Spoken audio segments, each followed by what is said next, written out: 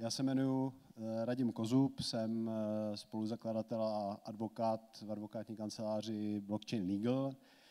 Eh, kancelář jsme otevřeli v roce 2017, kryptoprávu se věnujeme tak zhruba o rok a půl ještě déle. Původně jsme začínali s kolegou Pavlem Urbačkou, dneska jsme osmič, osmičlený tým právníků, sedm advokátů, jeden koncipient. Možná jste se s, s jinými z nás, než se mnou potkali na jiných konferencích, na CryptoBytu nebo v CryptoSklípku nebo někde jinde. Uh, takže uh, nejsem to jenom já, ale uh, je, nás tam, je nás tam osm a snažíme se na tyhle ty akce chodit ve větším počtu. Co děláme? Tak všechno, co se týká krypta, s výjimkou samozřejmě skemů a různých jiných nemorálních záležitostí ale za těch v podstatě už sedm let eh, jsme se setkali celkem bych řekl ze vším, z toho, co si dovedete představit, takže ať už to jsou směnárny, burzy, eh, různé eh, token issuance projekty, NFT, DeFi, všechno, co se v tom kryptu v podstatě za tu dobu objevilo, tak jsme se s tím setkávali a cíl vlastně naší práce velmi často najít eh, relativně inovativní a nové řešení, protože právo v kryptu rozhodně existuje, to je konec konců důvod, eh, proč tady jsem já a proč byste tu měli být i vy, jestli chcete rozvědět něco o právu a, kry, a kryptosvětě. Ale to, že tam existuje, ještě neznamená, že jsou všechna ta pravidla někde napsána a jednoduše si je můžete přečíst. Samozřejmě často je musíte dovozovat z nějakých jako komplexnějších eh, souvislostí a hledat tu cestu tak, aby eh, ten náš klient, klient což je nejčastěji kryptopodnikatel, eh, případně kryptoinvestor, který nějakým způsobem s těmi aktivy dál pracuje, tak aby měl tu právní jistotu, aby vlastně věděl, že to, co bude dělat, tak v případě, že bude nějaký problém, bude i fungovat. To je naše práce. Tak, vyplo. A tak, pardon, zadám tady heslo, které neuvidíte.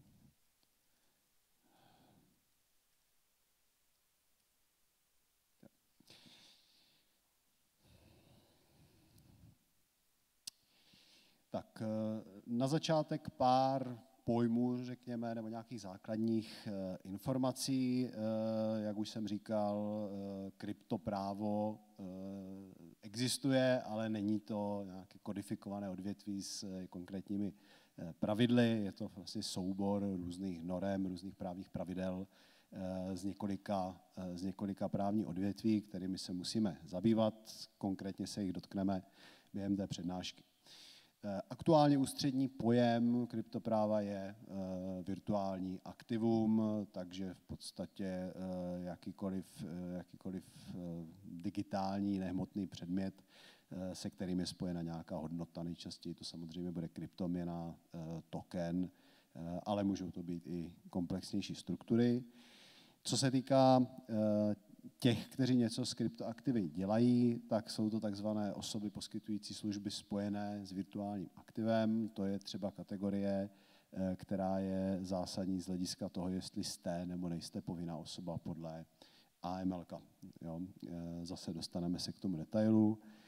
Eh, nemáme tady nic, co by se dalo nazvat licencí na provozování kryptoslužeb. To je samozřejmě něco, co se s účinností MIKY změní a ten režim bude úplně nový. Aktuálně se pohybujeme vlastně v převážné většině případů eh, v režimu živnostenského podnikání. Takže pokud děláte kryptobiznis, velmi pravděpodobně eh, jste nebo byste měli být živnostník a eh, je to ohlašovací živnost volná, takže nepředchází tomu nějaké složité licenční řízení, ale na druhé straně musíte mít tuhle tu živnost výslovně zapsanou, pokud to nemáte už tím porušujete nějaké předpisy a může to být potenciálně problém.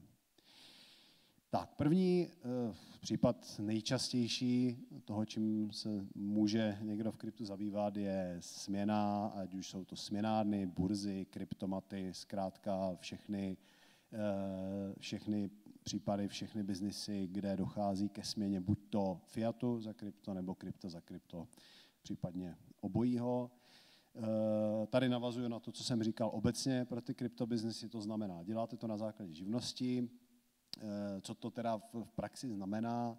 Eh, znamená to to, že abyste tady mohli, kdybyste se rozhodli třeba provozovat Binance sami, jo, tak vy opravdu můžete mít SROčko se zapsanou živností a z hlediska nějakých povolení té činnosti nic víc teď nepotřebujete. Jo, což zní zajímavě minimálně, že by jako eh, pro takhle velký kolos eh, tady nemělo být vlastně žádné jiné pravidlo. Pochopitelně tohle není, není ta hlavní výhoda toho stávajícího režimu, to je v tom, že je extrémně jednoduché do toho oboru vlastně naskočit a že to, co se reálně bude počítat, je vaše biznisová obratnost a schopnost se prosadit, prosadit na trhu. Ne, jestli projdete ročním a velmi drahým eh, licenc, licenčním procesem, což je přesně to, co nás s Mikou čeká. Eh, AML, eh, vzhledem k tomu, že samozřejmě budete ta osoba, poskyt, osoba, která poskytuje služby spojené s virtuálním aktivem, tak budete takzvaná povinná osoba, to znamená, musíte dělat KYC, musíte dělat ty Eh, procesy, eh, které vám zákon o opatření proti legalizaci výnosu z trestné činnosti a financování terorismu, jak se celý ten předpis jmenuje, které vám předepisuje. Jo. Zase v praxi eh, je to nějaká elementární identifikace u větších, u větších objemů těch částek, které byste třeba přijímali na takovou platformu, může být na místě se ptát i na původ těch prostředků praktické řešení je často nějakém vlastně poměru cena, výkon, o tom, co eh, jste schopni zavést i do, toho, i do té biznisové praxe, aby se vůbec eh, dalo to, co děláte, podnikat. Jiné postavení bude mít eh, člověk, který má směnárnu, dělá to sám a někdo, kdo provozuje burzu s vyššími desítkami, vyššími desítkami zaměstnanců.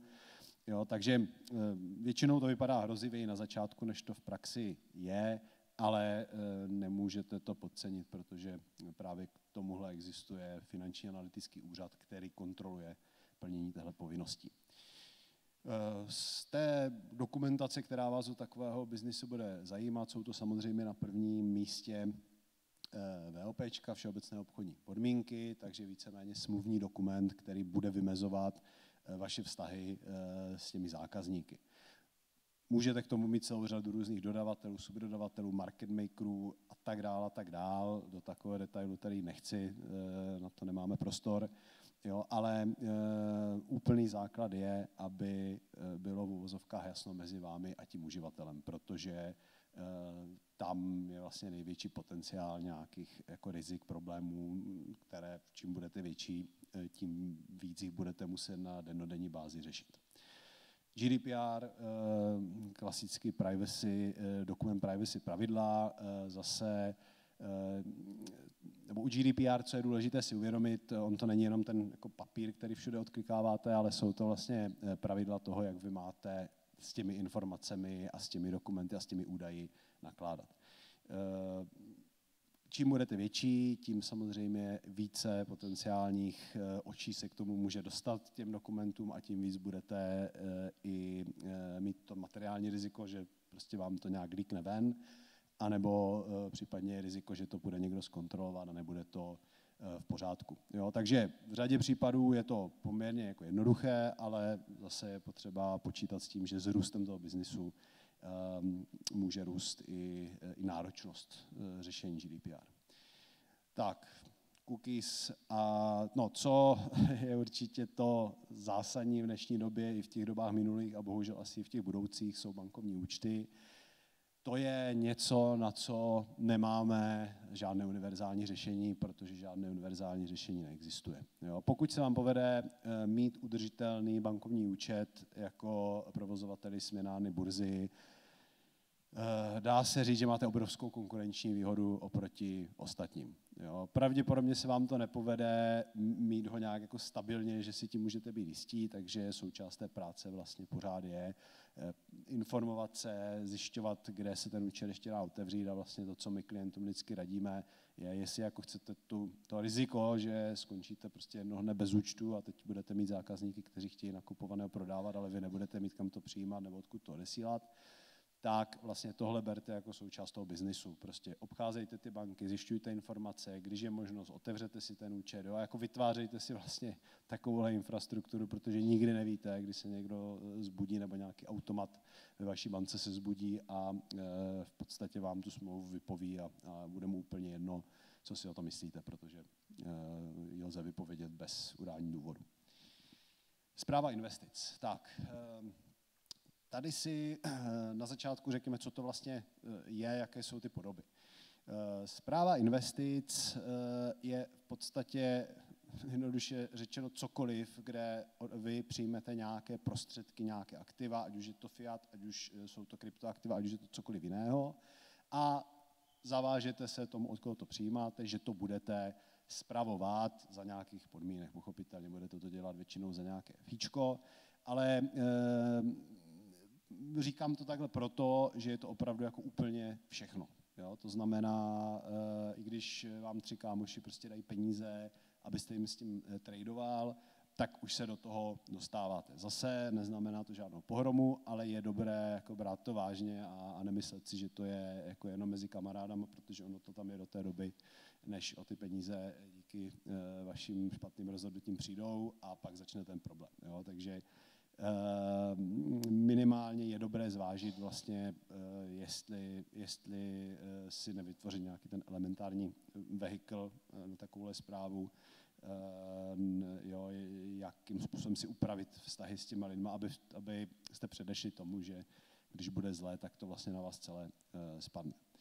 Jde to dělat dvojím způsobem. Jeden je individuální, druhý je kolektivní.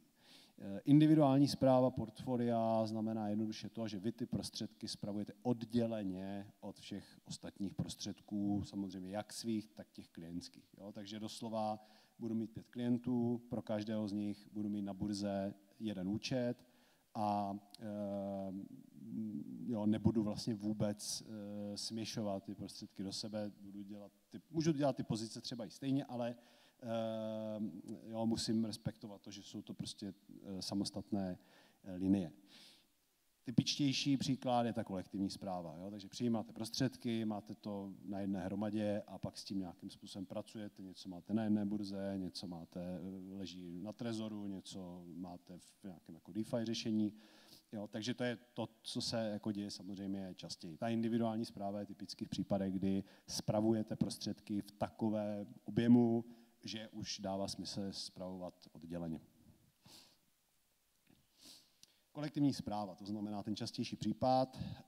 Um, za mnou vidíte uh, varianty, uh, jak to lze dělat, ale uh, nevidíte, tam, nevidíte tam vlastně tu v praxi jako hlavní, ne, což je vlastně alternativa k těm fondům. Jo. Fond kolektivního investování eh, je pěkný v tom, že eh, může přijímat prostředky od retailu, ale eh, problém je, že je takovým způsobem regulovaný, že nemůže investovat do krypta, takže vás to vlastně nezajímá. Fond kvalifikovaných investorů, ten není problém zřídit, problém je získat na to takzvanou depozitářskou banku, protože máme tady v Česku tři, a e, žádná z nich není moc ochotná to dělat jednoduše, protože jsou to banky a, a jako nemusí to dělat. Je to pro ně zátěž navíc. E, kvalifikovaných investorů, kvalifikovaný investor je velmi zjednodušeně řečeno e, někdo, kdo je schopný prokázat nějakou elementární zkušenost v oblasti investic a investuje vám aspoň 125 tisíc euro nebo alternativně 1 milion korun po tom, co prošel nějakým prověřovacím procesem. Eh, ta třetí varianta je v podstatě takzvaný paragraf 15 ZISIF, zákona o investičních fondech a společnostech. Eh, možná jste se s tím setkali v neúplně, v neúplně pozitivním smyslu, eh, jako, jako s něčím, co využil někdo prostě na schéma, které nedopadlo úplně dobře. Bohužel je tady jako určité přemnožení tady těchto těch nástrojů ale eh, to nic nemění na tom, že pokud budete chtít tu činnost dělat, eh, tak eh, prostě tenhle ten nástroj je poměr cena výkon, řekl bych, nejefektivnější, protože to v praxi znamená, že vy si založíte společnost, klidně obyčejné SROčko, na ČNB ohlásíte pouze, co budete dělat, jaké to prostě bude mít pravidla, jakou budete mít strategii a můžete začít. Jo, máte tam možnost e, mít, mít aktiva v hodnotě až 100 milionů korun, pokud e, obchodujete na páku, a v hodnotě až 500 milionů korun, pokud e, obchodujete bez páky, s tím, že můžete mít maximálně 20 nekvalifikovaných investorů, e, a tedy retailových, řekněme, a neomezený počet těch kvalifikovaných. Jo.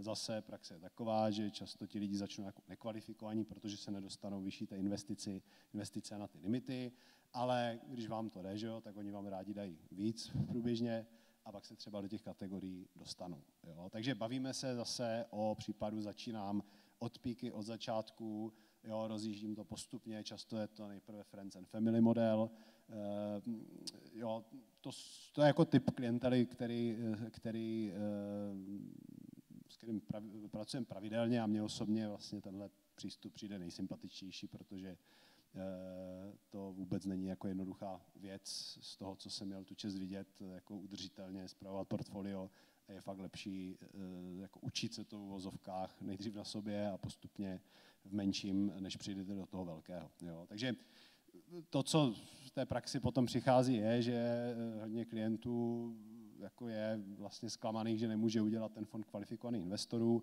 ale fakt je ten, že stejně vlastně začíná postupně a eh, stačí minimálně nějakou dobu eh, tady to takzvaná patnáctka, ten alternativní fond. Jediná reálná povinnost vůči regulátorovi, kterou vy máte, jednou ročně mu dá vlastně report, což ani není předmětem nějakého přeskumu. Co prostě, oni si ten report založí, napíšte tam, kolik aktiv, v jaké kategorii spravujete, pár dalších údajů a tím to, tím to hasne. E, zásadní nevýhoda e, z daňového hlediska u toho alternativního fondu je e, nemožnost využít zvláštní daně z příjmu právnických osob, jako je tomu u těch klasických fondů kvalifikovaných investorů.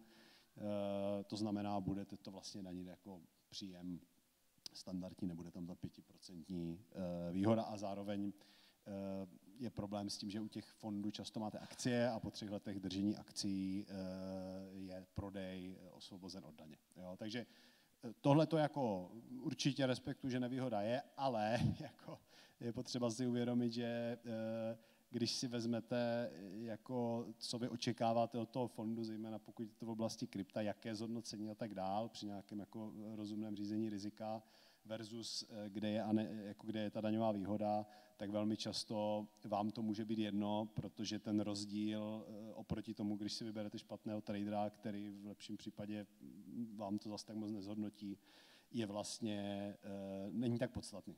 Jo? To jinými slovy mnohem důležitější, než jestli to dávám do fondu nebo tady do alternativního fondu, je komu to dávám, kdo zatím stojí. Tak, eh, individuální zpráva, eh, řekněme, hlavní rozdíl individuální zprávy, takže pokud byste měli nějakého zajímavějšího, movitějšího klienta, prostě někoho, koho to dává smysl, Eh, určitě ten, že to není činnost, která by byla nějakým způsobem regulována. Jo.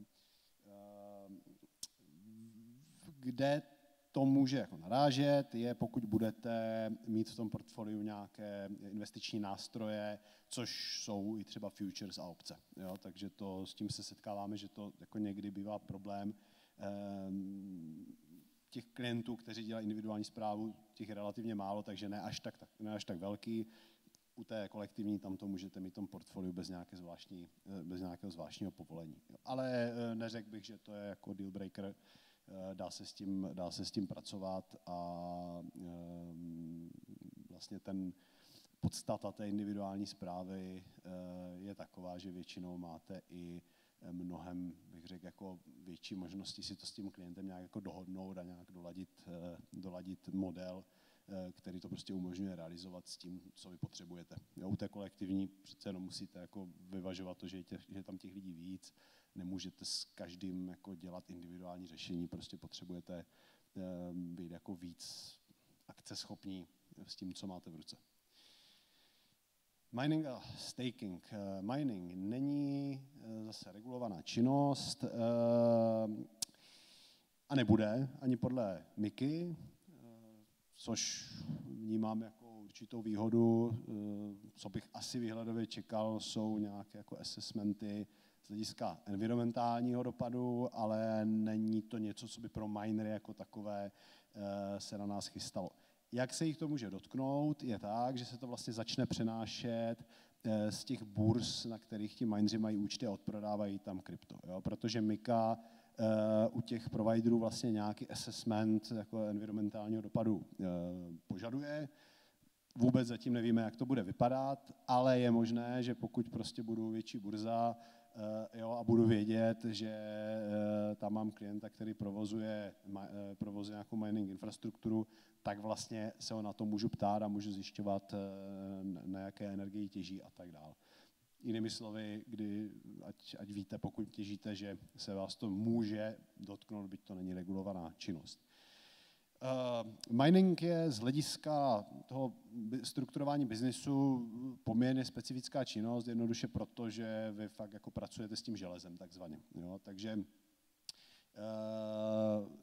tam na začátku se vás budou týkat takové ty jako eh, analogové záležitosti, jako kde budete těžit, eh, jak budete připojeni na elektřinu. Často to připojení nemusí vyhovovat, takže budete muset pracovat o infrastrukturou, že jo? teď jste třeba někde, jo, kde jsou nějaké technické parametry.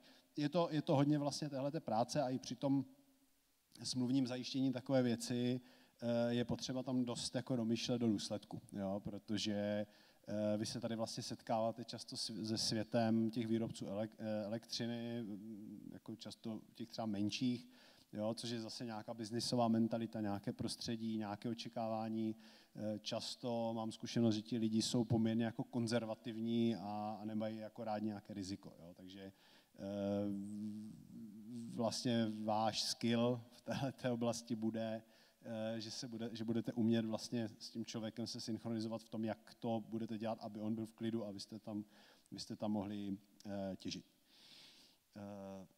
No, pokud těžíte sami pro sebe, tak uh, tam k tomu asi nic extra navíc uh, není co říct, ale pokud těžíte tak, že ten výkon dále prodáváte, pronajímáte a tak dál, jo, tak už, už se vás zase bude týkat nějaká jako agenda, ohledně vztahu eh, s těmi lidmi. Eh, zase z, z mojí zkušenosti eh, je to věc, která pochopitelně pěkná v tom, že vy si vlastně řídíte to, to kreditní riziko a to vlastně, kdo, jo, kdo za to odpovídá, kdo to riziko nese, rozdělíte to mezi více lidí. Z druhé strany eh, zase je to jako citlivá záležitost, protože často ti, co si ten eh, výpočetní výkon pronájmou, mají nějaké očekávání. Jo, je to vlastně eh, jakákoliv práce s cizími prostředky, ať už je to tohle nebo zpráva portfolia, je v praxi ožává v tom, že často ti, jejichž prostředky spravujete, prostě nejsou připraveni na ty špatné časy. Jo? A to znamená, že když přijdou, tak vás nečekají špatné časy jenom v tom, že nevyděláváte, že sami řešíte, jak ten provoz udržet, ale ještě musíte odbavovat jako eh, často dost jako nekompromisní klienty, jo, kteří v podstatě můžou dělat toho výnika přímo i z vás, že, že jste jim to měli říct. Takže i proto je jako dobré, eh, pokud do toho chcete jít, jako dobře to nejenom ošetřit, ale jako před tím ošetřením to i dobře promyslet. Jo, protože Eh, zdaleka neplatí, že eh, byť budu těžit bitcoin a prodávat výpočetní výkon, takže ta klientela bude stejná. Jo? Nebude pronajímat, nebude stejná, bude to hodně záviset na tom, na koho se obracíte, co od něho čekat. Staking No, do určité míry, pokud jde o to poskytování navenek, eh, vlastně se setkáte s podobnými problémy. jo, je tam jako otázka regulatorní pod tomu stakingu, co to vlastně je, jestli se tam nedostáváte zase do nějaké zprávy cizích prostředků. Jo, může být, že ano, ono hodně se dá vyřešit, vyřešit právě tí, touto smluvní úpravou, jo, protože vy můžete vlastně někdy jako ovlivnit, jestli, se to, jestli to tam dopadá nebo nedopadá. Eh, já se eh, v tomhle tom eh, vrátím, no, nevrátím, zůstanu tady u toho. Jo, u toho stakingu, u toho stakingu, ne, miningu, je to třeba případ těžebních půlů. Jo, to znamená, co to vlastně, co to vlastně je ten těžební půl a jaký vy s ním máte eh, vztah, to znamená, jestli eh, vy mu vlastně prodáváte ten těžební výkon a on na něm těží, jo, nebo jestli on vám poskytuje nějakou službu a už jenom třeba na tomhletom, jako na tomhletom rozdílu eh, to může mít nějaké daňové konsekvence, může to mít pochopitelně i konsekvence regulatorní, třeba když půjde o ten staking. Jo. Takže ne vždy, ale jste schopni správným smluvním nastavením eh, schopni ovlivnit, jako jestli si přiděláte vlastně nějakou zátěž nebo ne. Ale vždycky to bude velice individuální podle toho, co je ten cíl, kolik tam budete mít klientů, kolik prostředků, jaké jsou rizika. Jo? Takže není to úplně triviální úvaha. Tak, eh, NFTs. Uh, NFT v základu určitě berme jako standardní eh, virtuální eh, aktivum. Eh, zase podle Miky většinou se dočtete, že na NFT se Mika vztahovat nebude. Pozor na to, nebude se vztahovat na ta unikátní NFT, které nejsou součástí nějakých sérií nebo nějakých řad, v podstatě nějakých sbírek jo, kde by vzájemně ta, ta sbírka vlastně tím, že existuje, tak už to vyvolává nějaký hodnototvorný pohyb. Tak na, to, na ty unikátní NFT se to opravdu stávat nebude, ale na ty v podstatě collectibles ano. Uh, jo, a nejčastější případ je, že, že je tam jako záměr dělat to ve větším, vydělat na tom. Jo. To unikátní NFT bude typicky příkladem nějakého fakt jako uměleckého díla, které vyjde digitálně, bude záměrně takhle vydáno, ale cítíme, že tam jako je i rozdíl z hlediska toho, kdo si co kupuje, jaká je ta klientela, jaké jsou ty motivace.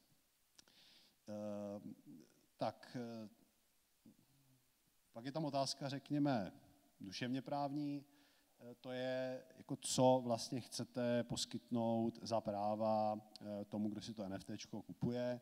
Jo, vy se vlastně tím, že je to e, nějaký vizuální obvykle, nebo audiovizuální obsah, dostáváte do toho, že to někdo vytvořil, jo, tomu, k tomu vzniklo nějaké autorské právo, pak se to někomu prodává, mezi tím ještě stojí někdo, kdo třeba financuje celou tu věc. Jo, takže eh, tady se trošku dostáváte do postavení, řekněme, nějakého galeristy jo, nebo někoho, kdo se uh, pohybuje v oblasti tvorby, vizuální tvorby a uh, máte tady tyhle ty specifické záležitosti, které u standardního třeba uh, ICO uh, mít nebudete. Jo, u těch NFTček tam jako ten, ten obsah, ten vizuální, audiovizuální uh, obsah je uh, zásadní pro to, proč se, se to vůbec dělá, proč se s tím pracuje. Uh, pokud to bude marketplace, eh, NFTs zase eh, vždycky musíte mít to smluvní řešení, vždycky musíte řešit eh, otázku ochrany osobních údajů. U toho AMLK bude to záviset na to, jestli, jestli to NFTčko, jako, jestli budete vyhodnoceni jako osoba, která poskytuje ty relevantní služby. Nemusí to být vždy, ale většinou to tak bude. Eh, DeFi, tak proč, eh, proč je to mýtus, že DeFi není regulováno?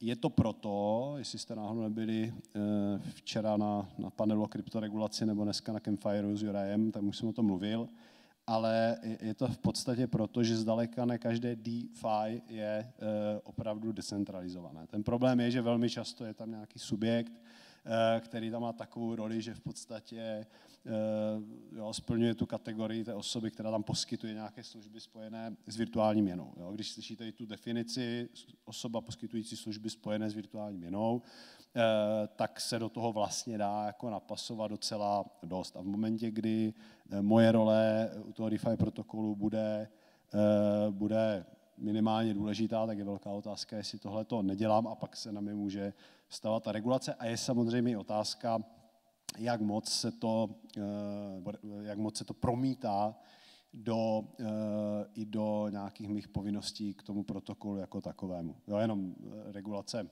spíš se na mě prostě vztahuje to, že musím mít živnost aktuálně a tak dále. Ta regulace u DeFi bude zásadní právě podle MIKY. Um,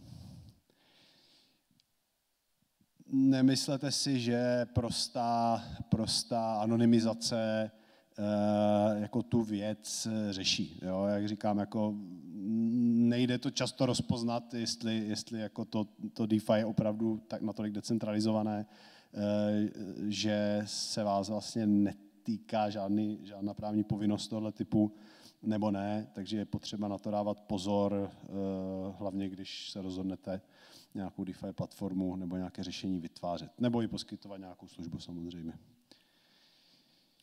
DAOS. Ehm, nemáme na to žádnou konkrétní právní úpravu, jsou země, kde to je, Wyoming, Delaware, dneska jsem se dozvěděl ještě o uh, Marshallových ostrovech, uh, že mají taky nějakou DAO úpravu. Ehm, to neznamená, že nejde v Česku dělat DAO, ale znamená to to, že si především musíte dát pozor, jako kdo vlastně bude ve finále odpovídat za ty právní vztahy, které tam mohou vzniknout.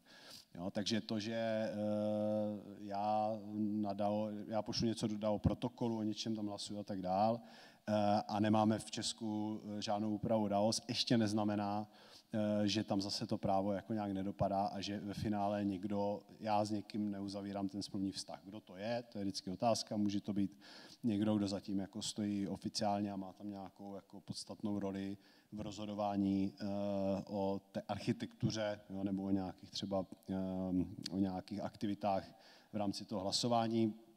Bude to extrémně individuální záležitost, ale když to vemu jako do důsledku a půjdete k soudu, budete tvrdit, že to bylo DAO, eh, tak ten soudce stejně bude snažit zatím najít někoho konkrétního, kdo, kdo tam měl vlastně toto relevantní postavení a kdo do těch právních vztahů právně vzato vstupoval.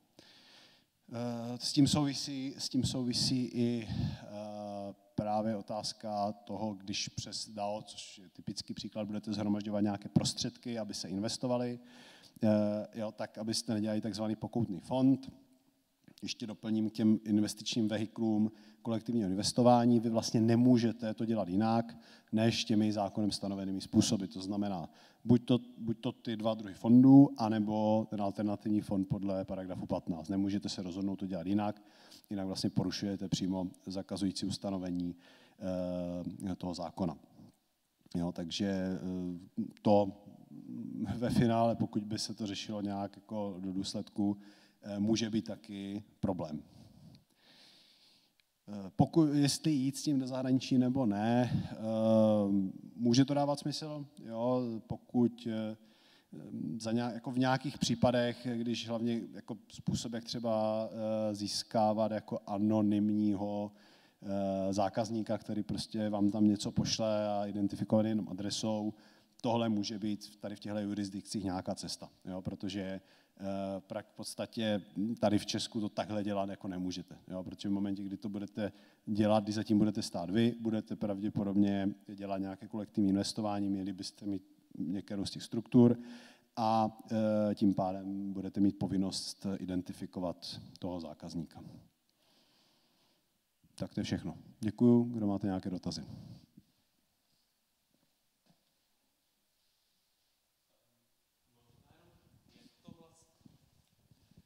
Možná, jak to vlastně v praxi funguje, eh, řekněme, eh, ať už u těch DAOs nebo u anonymních peněženek, jako jak vlastně soudy, případně stát jako obecně jako dohledává vůbec jako ty lidi, lidi zatím, nebo já to pokládám strašně obecně, ten dotaz. Eh, roz, rozumím. Jak, funguje prostě do dohledávání těch lidí z hmm, hlediska hmm. té státní moci? Jako? Uh, bude záviset, jako v jakých případech to ten stát dělá. Jo? Pokud to bude klasické jako soudní řízení civilní, to znamená, vy tam budete mít nějakou investici, a budete mít pocit, že vám tam někdo způsobil škodu nebo že vám ji má vrátit a nevrací a budete ho chtít jako zažalovat, tak to bude vlastně jako nejtěžší, protože ten stát sám od sebe jako nepůjde někoho jako hledat. Jo? Jde spíš o to, že vy pravděpodobně jako budete znát nějakou cestu, která k tomu člověku vede, takže řekněme, že zažalujete prostě pana XY, jo, a teď jako se bude normálně důkazně vlastně řešit, jestli to on je nebo není. Jo, a bude, ten, ten jako soud bude velmi základním způsobem, bude ho jako vyslýchat, jo, bude se tam provádět nějaké důkazy z toho, co vy třeba někde vyprintscreenujete z nějakých komunikací, jo, a bude záviset na tom, jestli jestli jako dovodí, že opravdu je to někdo, kdo může mít tu pozici toho žalovaného. Tam závisí pak zase na tom právním stavu, který tam jako vznikl. Jako, že vy budete pravděpodobně říkat, eh, on je jako ten správce, jo, sice na to použil nějaký technický nástroj, ale on je ten, jako, kdo se mi zavázal tu zpravovat za nějakých podmínek a já to teďka po něm chci. Jo, on bude říkat, ne, já jako jsem tady dělal jenom nějaký servis, prostě to není pravda, jo, a bude to vlastně, budete se přijít o to, jestli eh, on to postavení má a pak pokud jo, tak samozřejmě jaké byly ty povinnosti. Když to bude trestní řízení, jo, tak tam samozřejmě, eh, kdyby šlo třeba hodně peněz, už si umím představit, že eh, ten stát použije nějaké analytické nástroje, možná si jako i, i, i subdodá třeba či analyzis, jo, ale zase taky závisí potom hodně na aktivitě těch poškozených, jo, ale nedá se říct, že by automaticky prostě v každém takovém případě, kdy se to řeší, volali do. Jo. Oni mají nějakou svoji forenzní analýzu a e, vždycky je to strašně moc jako o tom, co je ta potenciální škoda. Ale kdyby to byl fakt jako velký průšvih, tak si to umím představit, že fakt budou jo, přes nějakou mezinárodní spolupráci, budou se doptávat e, třeba v, v zemi jako usídlení nějakých burs, jo, jestli tam nějací lidi měli účty, neměli. A vlastně postupně si jako vytrekují všechno to, co můžou a z toho teda budou řešit, jako jestli to jde přičítat někomu, jo, nebo to třeba byla jenom chyba eh, v nějaká protokolu, že tam něco stalo. Komplexní věc hodně. No.